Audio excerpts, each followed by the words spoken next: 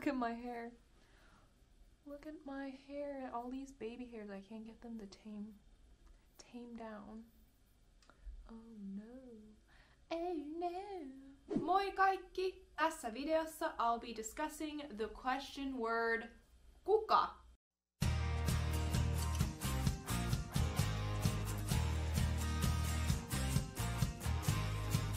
The Finnish question word kuka, kuka, kuka translates to the English question word who.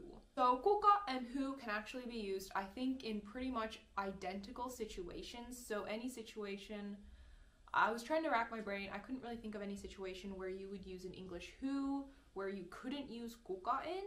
Now, just a side note, uh, you can add endings to kuka. So for example, kuka could be turned into kuka kohan. Um, to kind of make a more complex sentence, but let's not worry about that now. Let's just focus on the basic form kuka. Um, if you know how to use kuka, you can actually start building a lot of um, different kinds of question sentences. So just one quick pronunciation tip.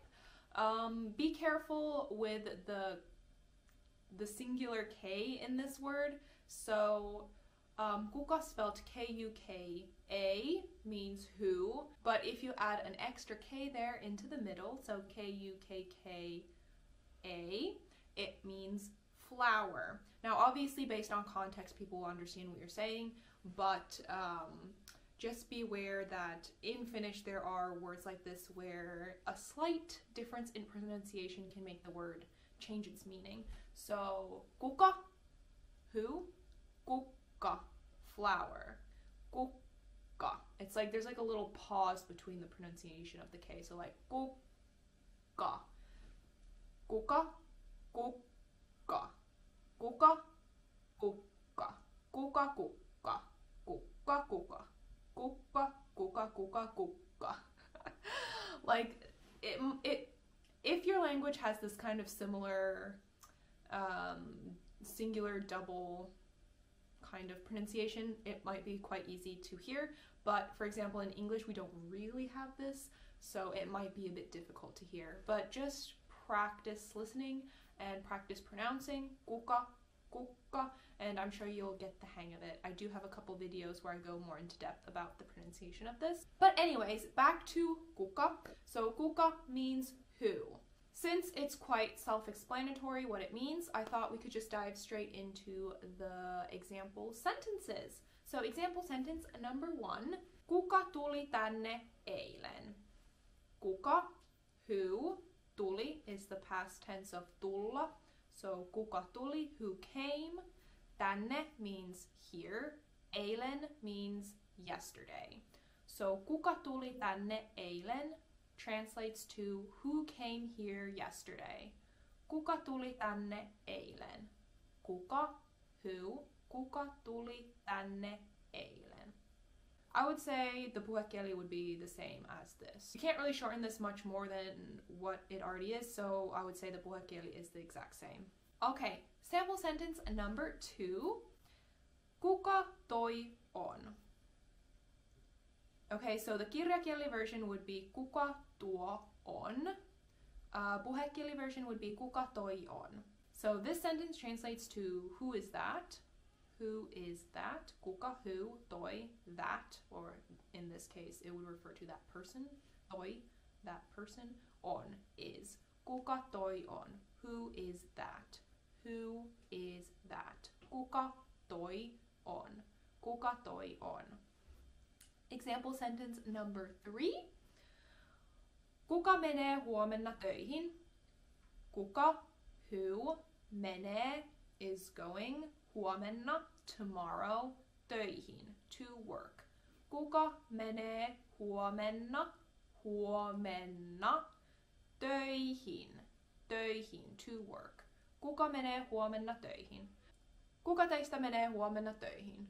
Who of you are going to work tomorrow? Kuka menee huomenna töihin? Alright, sample sentence number four. So the puhekieli version would be Kuka haluu mennä munkaan Helsinkiin? Kuka, who, halu, wants to, mennä, go, Mun ka would be with me.